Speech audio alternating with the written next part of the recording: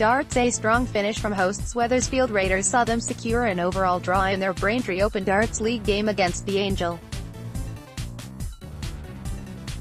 The Angel had take the early initiative with a win in the ladies competition followed by a 2-1 win in the pairs and a draw in the triples and they held a commanding match lead going into the singles.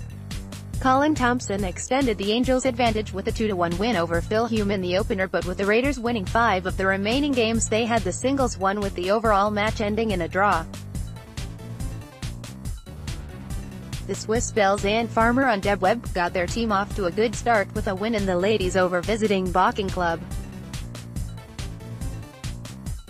The Swiss followed that up with a 3-0 win in the pairs before the teams played out a draw in the triples. However Bocking's hopes for a comeback were short-lived. The Swiss claimed all seven singles they had that competition and the match points were secured. Notley Sports were hosts to Cressing A and, with Tracy Hayden and Josie Patterson chalking up a win in the ladies, the visitors were off to a solid start. Notley came back with a 2-1 win in the pairs but with Cressing winning the triples they had the match advantage going into the singles.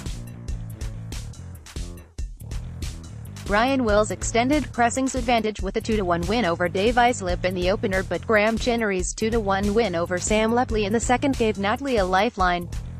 However, that was to be the last win for Notley as Cressing took all the remaining games to secure the singles and match points.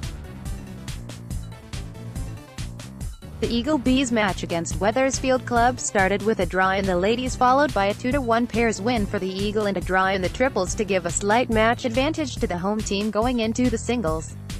Wethersfield's Bill Knight-Wood's 2-1 win over Richard Chandler in the first game leveled the match and with Wethersfield winning five of the remaining games, they had the single and match won. Braintree Football Club's Kelly Powell and Don Kennedy got their team off to a good start in the match against the Eagle A with a win in the pairs.